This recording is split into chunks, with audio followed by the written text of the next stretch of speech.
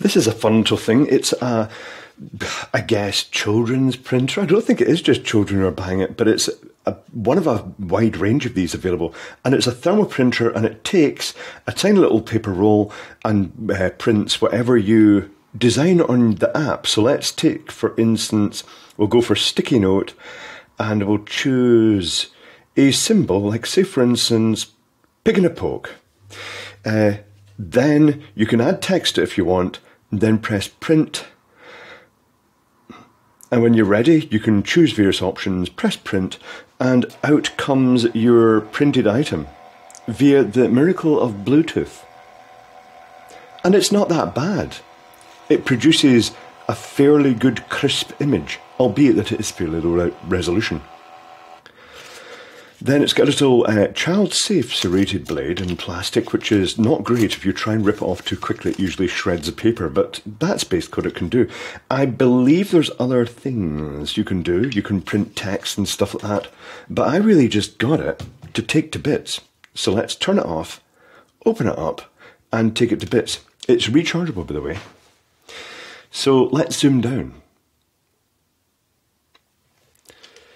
So you push this button to release this catch, and there's a roller inside and the roll of paper that goes in such that as it is driven up, it passes the print head, which is a little ceramic print head. Well, I'll show you it. I'll open it up. Uh, let me grab a suitable screwdriver for this. Something thin. Just looking for a suitable screwdriver here. There we go. Suitable screwdriver located. So I'll take these two screws out here. And the two screws are located inside, down at the base here. And once those are out, the unit should come apart. And we can marvel at the minimal nature of many of these things. So here is there is a 18650 rated 1200 milliamp hour. Let's unplug that. Let's diffuse it. There is a circuit board. There is a ooh, ribbon cable going to the print head mechanism. Uh, let's see if we can get the ribbon cable out.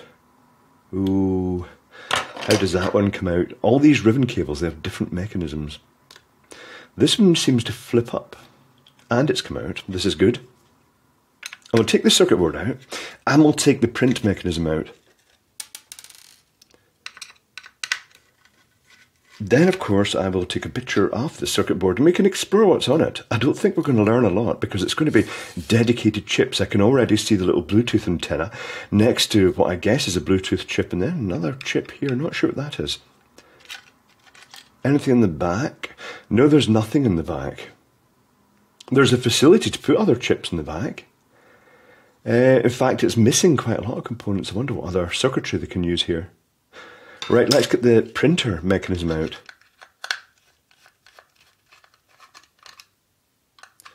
So it's got two screws holding it in. To release the print mechanism, and that is absolutely microscopic. Let's zoom down this. It has a little stepper motor with gears going up to the uh, drive here that drives the paper past this ceramic head with all the tiny little heater elements on it that respond very quickly just to actually change the state of the paper because that's how they print in the paper. They basically heat it and where the paper is heated, it goes dark. But that's the nature of thermal paper. It means you don't need a, a separate sort of ink system. Another thing, this little rib ribbon cable here is presumably going up to this little circuit board here, which has a little reflective op optical sensor, um, and that is being used to actually detect when the paper is present. Don't know if there's any other switches or anything like that. Don't know if it detects the lid has been opened in any way. I shall explore that. But in the meantime, I shall take a picture of this and then we can take a closer look.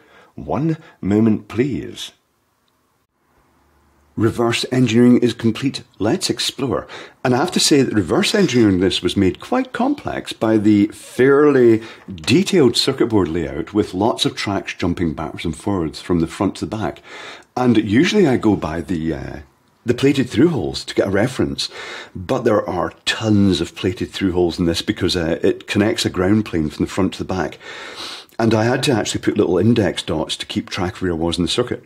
So in the back of the circuit board, it's mostly ground plane, but there is the space for extra anonymous circuitry. The only components that are identified are these two diodes.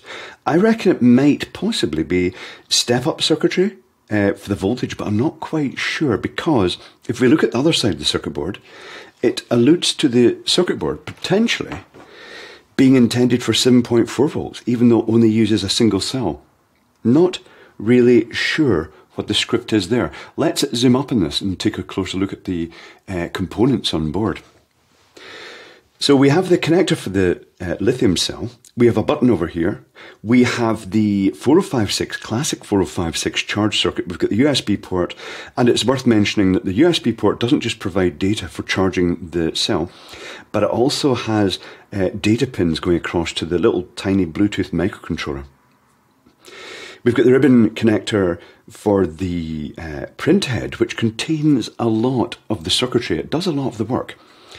Um, we have a little anti-reverse polarity protection circuit, which is nice, and we have a very interesting power uh, switch circuitry to make sure that in standby condition, this unit draws virtually no current at all because the processor is completely off in standby. Uh, we have a stepper motor driver chip, a very common one, uh, as manufactured by uh, Texas Instruments, possibly manufacturers. It's an AT8833 and it's a sort of dual H-bridge stepper driver, and it's got 2.5 ohm sense resistors. Uh, smooth capacitor or general res- reservoir capacitor for stability of the microcontroller and the antenna.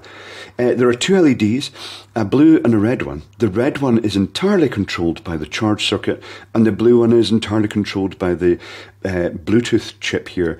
And um, and it's when you plug it into charge, the red LED is the only indication. It's only going to get its indication from the charge control chip, and uh, this remains off during charging.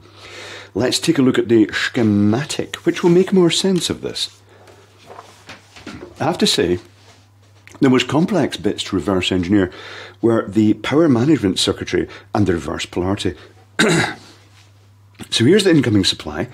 Uh, USB supply comes in. There is a decoupling capacitor. I've left most capacitors off the circuit. They're peppered all the way through as they usually are, particularly around the Bluetooth uh, chip and the stepper drivers, uh, various support components uh, for internal um, stability of voltage references. So the incoming supply would go to the charger, but it has to get past this 2301A P channel MOSFET first. And it's a classic arrangement of uh, gate resistors such that if you apply the reverse polarity to this, this transistor will not turn on and it will protect against reverse polarity damage. So if the polarity is correct, this transistor does turn on, it starts charging the lithium cell, and there's a 1.5k charge control resistor. They're uh, circumventing the polarity protection slightly, but it's no, no great deal. There's a 1K resistor and a red LED, and that is your entirely your charging status. After that, the lithium cell provides power up to here, and then this I should write just plus volts. It will vary. Uh, as the lithium cell drains down, the voltage will drop, but this seems to have its own internal references.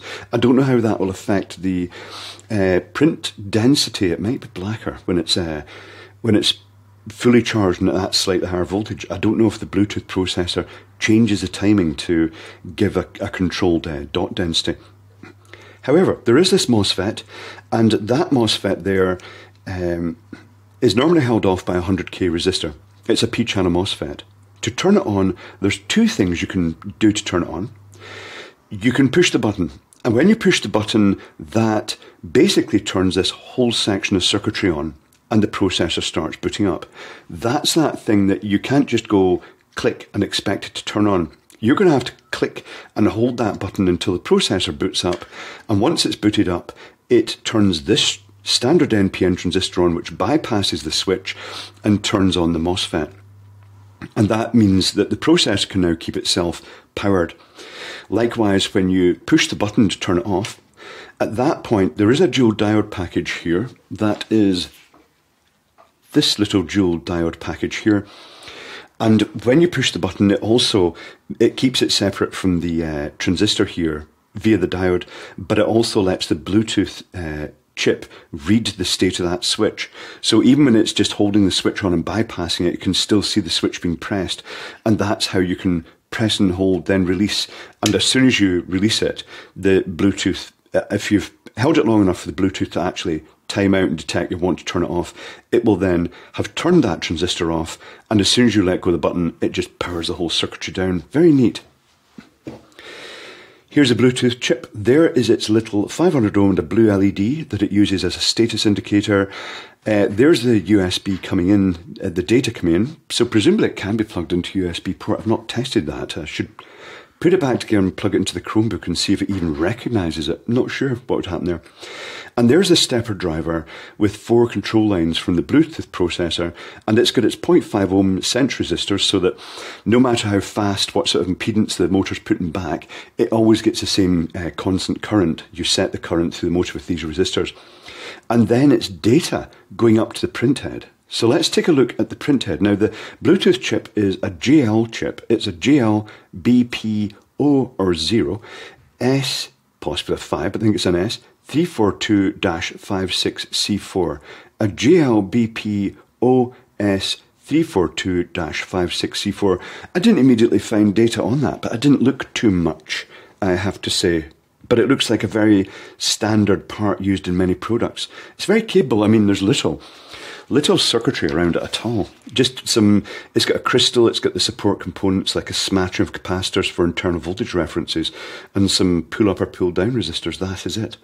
Uh, very, very basic. Let's take a look at the print head. This is where I may have to zoom out a little bit so we can fit it all in. Uh, no, I will not need to zoom out that much to fit it all in. I'll just hold it right there. So here's the ribbon cable, and the ribbon cable goes onto a ceramic substrate on a metal sort of pressure and heat sink plate. Um, a lot of the work is done on that ceramic circuit board, but there are also two sections of ribbon cable that just peel off to the side. One goes to the stepper motor and takes the four connections up to that because it's got two windings, and the other goes uh, to a sensor on the front of the uh, print head. Let me show you that. It's it is right there. And it's a tiny little uh, infrared uh, emitter and re- detector. And that uh, uses that to uh, indicate to the control system if the paper's in place, because it's important not to run these print heads without paper in place. And that uh, is literally on this little ribbon cable it's sticking out the top here, and then you can see the white plastic clip that's just pushed in and clips that in place. That's so there's no fancy multiple PCB assemblies. Everything is on the ribbon cable, and then they're just clipped and clicked into place. Very, very neat construction. You can actually see the blob, this blobby material here that curves at the end. That is a chip on board. And we've got the ceramic circuit board here, we've got the blob with all the decoders and the drivers, and then if you see these V shapes, those are just fanning out connections uh, to the thermal print head itself, which is just basically a series of tiny little resistors. And uh, that's one of the reasons that there is a coating in front of it for protection, probably against abrasion. Uh, it's important to make sure you do put the paper in the right way around with the thermal printer. Don't let it run with the paper the wrong way around because some of them have a coarser back. The surface should be glossy and uh, the thermally changeable surface, the stuff that goes black when you heat it up. Uh, that should be that nice smooth surface pressing against that, and uh, it definitely doesn't want to uh, pressed directly against the roller, so that's why it detects when the paper has run out or been removed or the lid's been opened. It's interesting to note the roller here is actually part of the print head, and when you close the lid, what actually happens is it clicks in like that, and then it's captive. So almost like the the cover of this is well aligned, but it's really just designed to present the roller because ultimately the printer itself wants to take control of that roller and get it into the right position. And when you press the eject button, which is just literally a wedge, uh, all it does is just release it from the spring clips at the side. Let me see if I can show you those. Those little spring clips there. But that is it. It's a very minimalist thing. It just it's ridiculous that you know a children's toy, effectively, or even adults' toy, uh, can be made so cheaply when it's basically a full blown printer, and the fact that uh, the units are used in almost every single point of sale terminal, you know, basically cash register and stuff like that, means there are millions of these it's all over the world. It's just an industry standard thing. The rolls of paper are easy to get, even if you find you can't get uh, the wee mini rolls, which is unlikely, you should be able to get them off eBay. It's worth mentioning that you can just get a big, huge roll of the stuff the same width, uh, usually about 58 millimeters. I think I got a measuring tape here to measure that. But uh, you can just basically pull some off another roll and you can wind it round, but it has to be in the right direction so that the roller can pull it up past the print head with this uh, uh, thermally sensitive side the correct way round. If it doesn't print, then roll it up the other direction. Uh, but that is it. The incredibly it's simple looking, but actually quite complex uh, mini Bluetooth printer. It's pretty neat little device, very clever indeed.